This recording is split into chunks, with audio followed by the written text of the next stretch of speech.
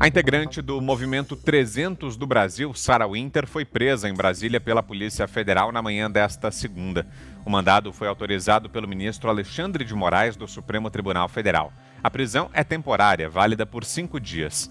Sara é uma das investigadas no inquérito das fake news, mas a prisão saiu de um outro inquérito do que apura a realização de atos supostamente antidemocráticos contra o STF, também sob relatoria de Moraes.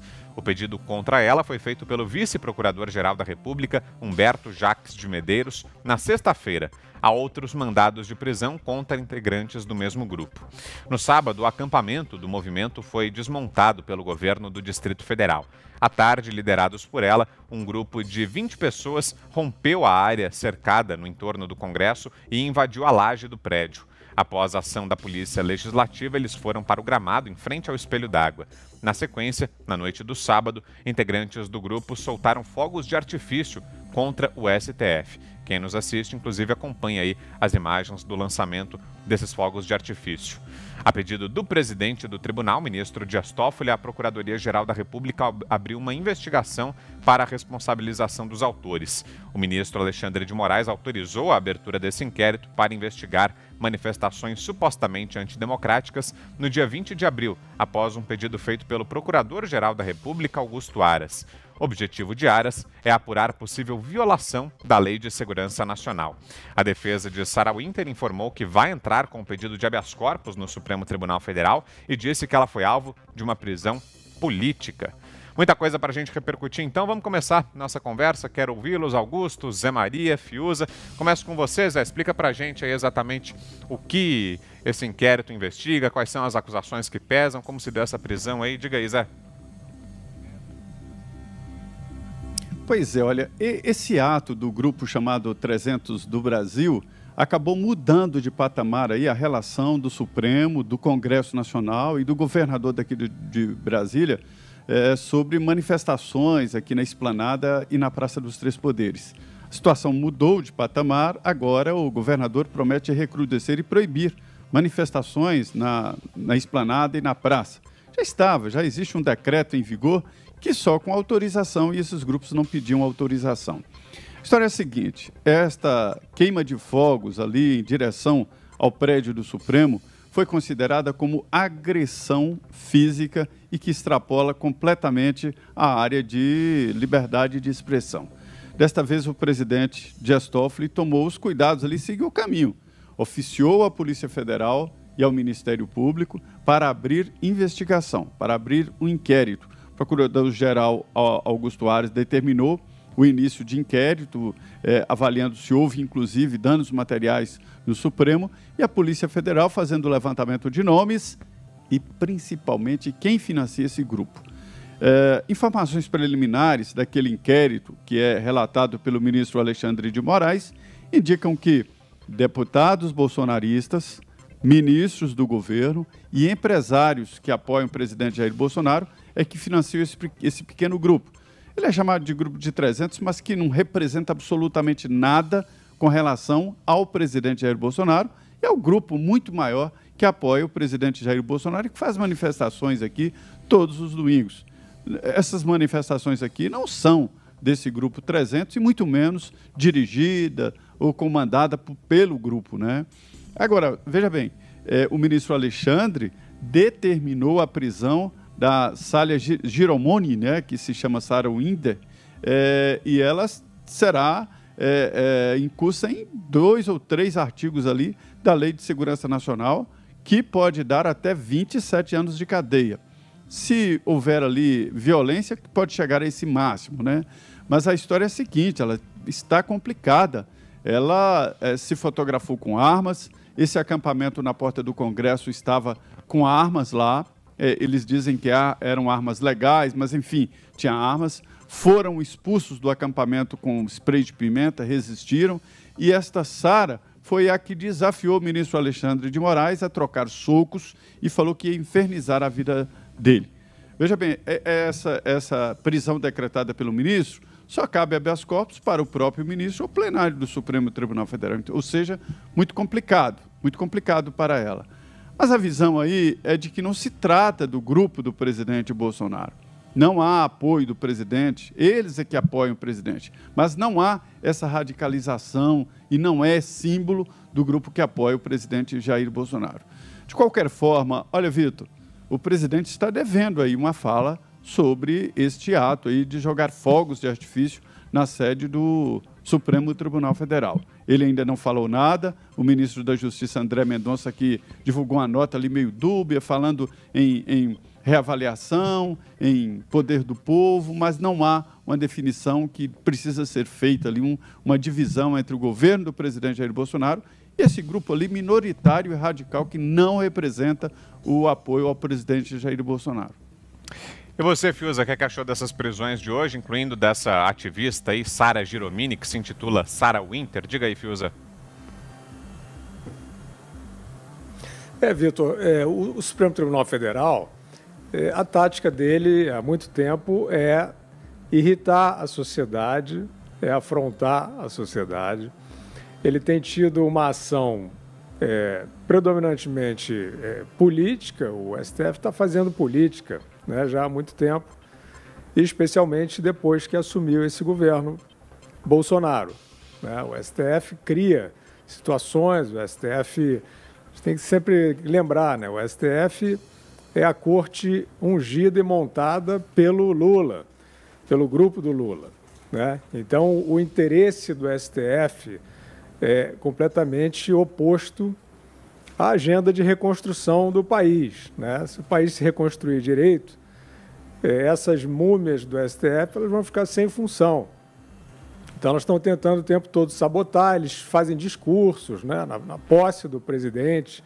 A Rosa Weber fez um discurso colegial contra a ditadura. Eles, eles têm esse nível colegial.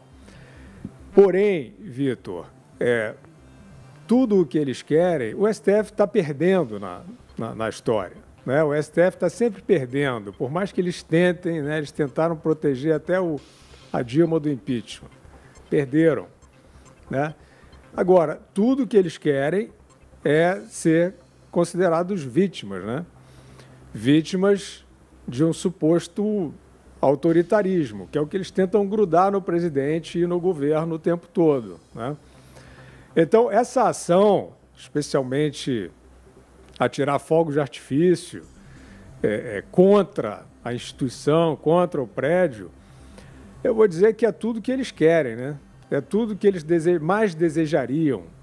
Eu, às vezes, acredito em teoria da, da, conspiração. Se você me dissesse assim, ó, fiquei sabendo que foi o Gilmar Mendes que organizou aquilo, eu diria, acredito. Acredito, porque eu estou vendo o Gilmar, que é essa figura é, é, né, assim, quase que um, um, um proscrito em termos de, de, de reputação, né? Está aí renascendo, né? Feliz da vida, dando é, piruetas de toga ali, dizendo que a democracia foi ameaçada, que ele agora está indignado, não sei o quê. Ou seja, um ato desse tipo é tudo o que esses, esses personagens do STF uh, que estão uh, perdendo na história, apesar deles estarem, uh, de fato, avançando muitos sinais. Eu acho que todo mundo tem razão e a gente está cansado de ver. É irritante, é, é afrontosa a ação do, do STF contra o país, contra a agenda do país. Mas eles perdem. Né? Eles perderam quando tentaram evitar a prisão do Lula. Mas perderam como? O, povo foi para a rua. Né? Eles tentaram habeas corpus preventivo e o Brasil teve, alguns dias antes, uma das maiores manifestações da sua história. Povo na rua, em paz, ali, de verde e amarelo. Né? É disso que eles têm medo. Ah, tentaram também, antes disso, é, com ações ali contra o Congresso Nacional, vamos sempre lembrar disso, o STF tentou interferir no Congresso para é, barrar o processo de impeachment e o povo foi para a rua também. E assim é, eles são covardes, mas a covardia deles aparece assim, com esse tipo de força. É isso que eles temem, a força do povo, da democracia, da execração. Os arrobos, os, aí as, as, as tentativas de rosnar contra eles, eles adoram. Então, eu acho que eles é, é, gostaram muito dessa manifestação isolada aí contra o prédio do STF. Diga, Augusto. né? O Guilherme e o Zé Maria traduziram, resumiram muito bem aí o que aconteceu. É, você não pode fazer nada que deixe feliz o seu adversário. Ponto. Está evidente que o povo brasileiro está descontente com o comportamento dos ministros do Supremo. E não se pode confundi-los com a entidade, que é tudo que eles querem. É tudo que eles querem. Cada ministro criticado diz que foi uma agressão ou uma afronta ao Supremo. Não é. é o presidente da, da, da do Supremo, ele está vendo isso aí, está sofrendo esse negócio, sentindo da própria pele. Normalmente, quando o Supremo se julga, ou qualquer Suprema Corte de qualquer país se julga atacada, né, agredida, o presidente fala em nome da instituição. Como nós vimos aí, temos visto nos últimos dias, ah, o Toffoli nem foi o primeiro a se, a se manifestar contra o que ele achou que era uma agressão. Foi o Luiz Fux. Depois vem Toffoli. Aí se, também se manifesta Alexandre de Moraes. É, daqui a, antes também se manifestou o Barroso. Daqui a pouco vem o Marco Aurélio. Eu não entendo como é que uma instituição se manifesta por todos os seus integrantes se ela pretende se apresentar como uma coisa só e unida. Ao soltar rojões aí na direção, simular um ataque né, ao pirotécnico ao Supremo, estão fazendo o jogo do Supremo. É a instituição que está sendo atacada. Meu Deus do céu, tem que deixar claro, é, qualquer partidário do governo ou qualquer democrata tem que deixar claro que não se trata de agressão à instituição. Ninguém propõe o fechamento do Supremo. O que não se tolera é o comportamento da maioria dos integrantes da, da corte que vai mudar. Vai mudar. Vem aí a nomeação de um outro ministro. E da mesma forma que o Lula escolheu o ministro que quis, é, é, ou os ministros né, que ele quis, da mesma forma que a Dilma indicou, o Bolsonaro vai indicar o ministro que ele quiser. E será aprovado. E vai mudar a interpretação, por exemplo, daquela história de prisão depois da condenação em segunda instância. Entre outros, outras jurisprudências, entre aspas. Então é o seguinte: esse grupo faz o papel dos black blocs. Tá? Eles só, os black blocs desmoralizam essas manifestações dos adversários do governo, porque mostram que essa turma está querendo é isso mesmo, é destruir, piorar a situação. Agora, me vem um grupo minúsculo, não é, desimportante, que quem pede a intervenção militar não está com todos os. não está com o cérebro no lugar.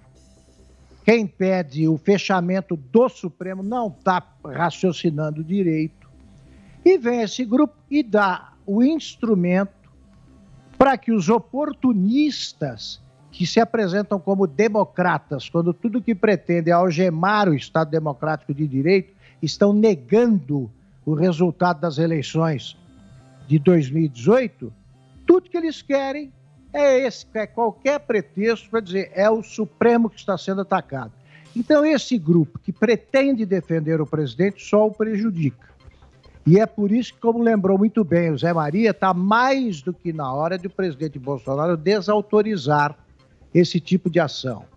E deixar muito claro que todos têm o direito de criticar qualquer decisão de ministro do Supremo. Qualquer decisão do Supremo e, sobretudo, decisões chamadas decisões autocráticas, né? É, é esse o nome da, da decisão solitária dos ministros. Não pode ser criticada. Monocrática, porque... né, Augusto? Monocrática, desculpem. Por que não pode ser criticada? É um homem, um funcionário público ou uma mulher, né, se tratando de ministras. E eles são criticáveis, sim, porque são humanos e indivíduos. Por que não pode? Não se confundem com a instituição. Tá? Não pode declarar como um rei francês c'est moi, né? Não dá. Eles não são o Supremo. Eles são ministros do Supremo e, portanto, sujeitos a críticas. Mas não a ataques idiotas como esses.